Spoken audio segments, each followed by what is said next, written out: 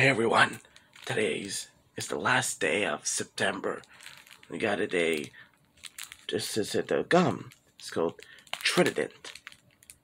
It's called Trident gum. So I'm gonna do the spearmint one right here. You I just wonder why I just gotta buy that. I bought it at Walmart last time, but I didn't make a video in a long time. So I'm just gonna open. Take the peel off like this.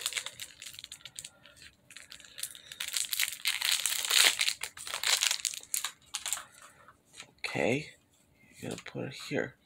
So this is a gum, and I just want to show you. I'm gonna get rid of the napkins that I put on my plate. Anyways, behold, they're gum. They have three, six, seven, nine, twelve, fourteen. There are 14 of gums. So I'm going to take this one. Now there's only 13 left. So I'm going to use this one. If I use the gum. Check it out. They're green. Right here.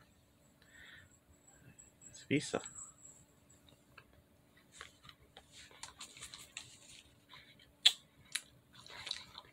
Experiment.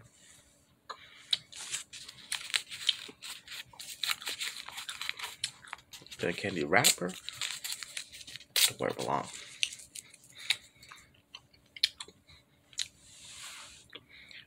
Actually, when you use experiment, Trident gum, you have this. When you're done, just close it. And this is how you do it. And when you're done using the gum, spit it out and throw it away. Thank you for watching I'm Trident Gum. I'll see you in the next video.